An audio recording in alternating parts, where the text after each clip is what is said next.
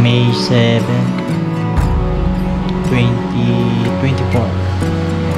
naglilibor yung asawa ko ngayon sana tulungan tayo ni Lord